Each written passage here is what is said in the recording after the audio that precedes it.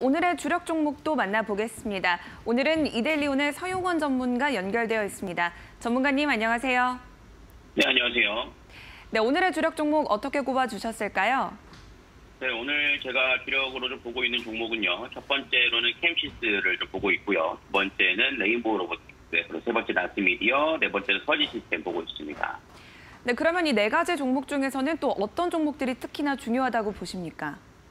네, 우선은 첫 번째로는 캠시스에 대해서 어, 좀 언급을 해드릴 수 있을 것 같은데요. 사실 이 종목 같은 경우는 10월 7일 주력 종목으로 좀 선정이 됐던 종목이고 그 이후로 좀 추가적인 상승세가 좀 나왔습니다만 여전히 좀 가격적 메리트는 있다라고 좀 판단을 하고 있습니다. 어, 전일 뉴스와 함께 좀 시세가 좀 나왔던 흐름들이 있는데요. 초음파 기반의 배터리 진단 키트 개발 소식이 이어졌다라고 좀 볼 수 있겠습니다.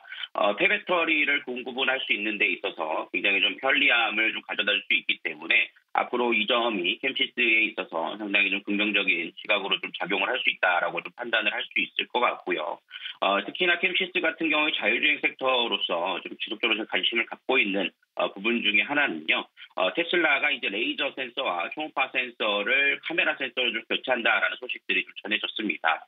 지금 현재 우리나라에서 생산 우리나라 쪽에 수출되는 어, 테슬라에 대한 모델들은 아직까지 적용되지는 않습니다만 현재 지금 다른 해외에서 생산되는 모델에 대한 부분들은 좀 교체가 이루어지고 있는 상황이고, 고가형 모델에서도 2023년 이후부터는 카메라 센서로 전부 교체가 된다는 점을 감안해 봤을 때 카메라 모듈을 생산하는 캠시스에 있어서는 상당히 좀 긍정적인 호재가 될 수 있다라고 좀 판단을 하고 있고요. 테슬라는 삼성전기를 통해서 카메라 모듈을 좀 생산받고 있고 그 생산에 부품을 납품하고 있는 캠시스는 직접적인 수혜가 되면서 실적 개선세가 이루어질 수 있을 것으로 예상을 하고 있는 상황입니다. 캠시스가 전일 좀 강한 시세와 함께 들어왔던 수급들을 살펴보면 외국인과 기관의 수급들이 좀 들어왔고 최근 하락폭이 있었다가 상승 자리에서 개인들의 손절매가 나왔기 때문에 오히려 좀 조정 국면을 활용한다라면 추가적인 상승 여력도 좀 노려보실 수 있다는 점에서 여전히 좀 관심을 좀 가져보시면 좋겠다라고 말씀을 좀 드릴 수가 있겠고요. 두 번째 종목으로는 레인보우 로보틱스를 좀 볼 수 있을 텐데요. 로봇 관련된 종목들이 최근 ETF가 출시되면서 기대감도 있습니다만 특히나 레인보우 로보틱스 같은 경우에는 이족 보행 로봇이라든가 어, 로봇팔 관련된 사업을 좀 진행하고 있다라고 좀 볼 수 있겠습니다. 로봇팔을 통해서 뭐 카페를 운영한다거나 뭐 음식을 만든다거나 하거나 뭐 협동 로봇에 대한 시장이 좀 기대감이 있다라고 좀 볼 수 있을 것 같고요.